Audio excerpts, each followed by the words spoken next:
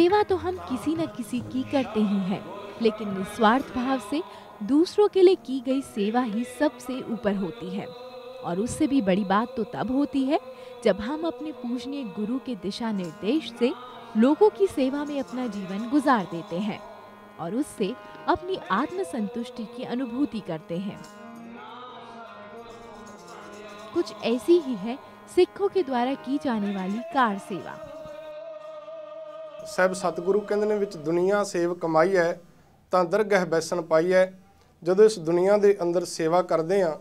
ਉਸ ਸੇਵਾ ਭਾਵਨਾ ਦੇ ਨਾਲ, ਸੇਵਾ ਕੀਤੀ ਹੋਈ ਦੇ ਨਾਲ ਦਰਗਾਹ ਦੇ ਅੰਦਰ ਸਾਨੂੰ ਸਥਾਨ ਮਿਲਦਾ ਹੈ। ਰੀਜ਼ਨ ਉਸ ਦਾ ਕਾਰਨ ਕਿ ਜਦੋਂ ਅਸੀਂ ਸੇਵਾ ਕਰਦੇ ਆ ਆਪਸੀ ਪਿਆਰ ਪੈਦਾ ਹੁੰਦਾ ਹੈ। ਇੱਕ ਸਾਡੇ ਅੰਦਰ ਜਿਹੜੀ ਹਉਮੈ ਹੰਕਾਰ ਹੁੰਦਾ ਹੈ ਕਿ ਮੈਂ ਉੱਚੀ ਜਾਤ ਦਾ ਹਾਂ, ਮੈਂ ਉੱਚਾ ਹਾਂ, ਮੈਂ ਵੱਡਾ ਹਾਂ, ਮੈਂ ਅਮੀਰ ਹਾਂ, ਮੈਂ ਦੂਸਰਿਆਂ ਦੇ ਨਾਲ ਨਹੀਂ ਖੜਨਾ ਉਹ ਆਣ ਕੇ ਇੱਥੇ ਬਿਲਕੁਲ ਭਾਵ ਅੰਤਰ ਖਤਮ ਹੋ ਜਾਂਦਾ ਹੈ कार सेवा संस्कृत का शब्द है जिसका अर्थ होता है कर यानी हाथ और सेवक यानी मदद करने वाला सिख में कार सेवा करने वालों को सेवादार के नाम से जाना जाता है जो सबका भला चाहते हैं और कभी किसी से बैर नहीं रखते सभी सिख अपने गुरु गुरु ग्रंथ साहिब जी से प्रेरणा लेकर ही उन लोगों की सेवा बिना स्वार्थ के करते हैं जिन्होंने दूसरों के लिए अपनी सेवा दी गुरु कहते हैं कि सेवा करने से शांति मिलती है इसलिए ये मत सोचो कि तुम्हें क्या मिलता है ये सोचो कि तुम दूसरों को क्या देते हो ਕਿਸੇ ਦੇ ਲਈ ਕੁਝ ਕਰਨਾ ਕਿਸੇ ਦੀ ਮਦਦ ਕਰਨੀ ਕਿਸੇ ਦੀ ਹੈਲਪ ਕਰਨੀ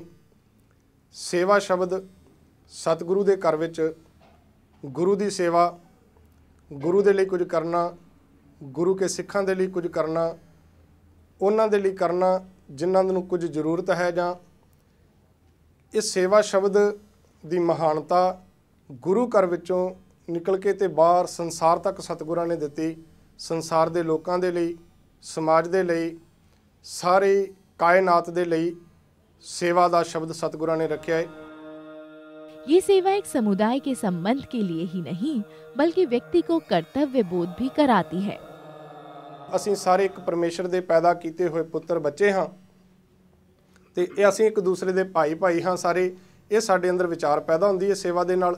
ਭਰਾਤਰੀ ਭਾਵ ਪੈਦਾ ਹੁੰਦਾ ਹੈ, ਸੇਵਾ ਦੇ ਨਾਲ। ਸੇਵਾ ਕਰਨ ਦੇ ਨਾਲ ਸਾਡੇ ਅੰਦਰ ਦੀ ਹਉਮੈ ਦੀ ਮੈਲ, ਹਉਮੈ ਦੀ ਮਲੀਨਤਾ ਉਹ ਖਤਮ ਹੁੰਦੀ ਹੈ, ਮਨ ਸਾਫ਼ ਹੁੰਦਾ ਹੈ। ਹਉਮੈ ਦੇ ਜਿਹੜੇ ਸਾਡੇ ਅੰਦਰ ਅੰਸ਼ ਹੁੰਦੇ ਨੇ, ਉਹ ਖਤਮ ਹੋ ਜਾਂਦੇ ਨੇ, ਮਨ ਨਿਮਰਤਾ ਵਿੱਚ ਆਉਂਦਾ ਹੈ।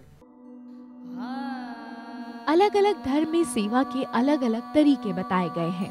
लेकिन सबका मूल एक ही है, सामूहिक रूप से जन कल्याण की बात करना। अपनों के लिए ना सोचकर दूसरों की हित की बात करना। सिख लोग इस कार्य में ज़्यादा शामिल हैं, जो गुरु का लंगर, कीर्तन पाठ के ज़रिए लोगों की सेवा करते हैं, जिसमें बर्तन धोना, ज़मीन की सफ़ाई करना, खाना परोसना इत्यादि शामिल हैं। ऐसे बहुत ही कम लोग हैं जो अपनी ज़िंदगी का कीमती समय लोगों की सेवा में लगाते हैं। वहीं सिख समुदाय के लोग निस्वार्थ भाव से दूसरों की सेवा में लगे रहते हैं, जो अपने आप में बहुत ही बड़ी बात है। हमेशा दूसरों की सेवा करना ही इनका मकसद होता है, और ये अपनी ज़िंदगी तक लोगों की सेवा में ही गुजार देते हैं।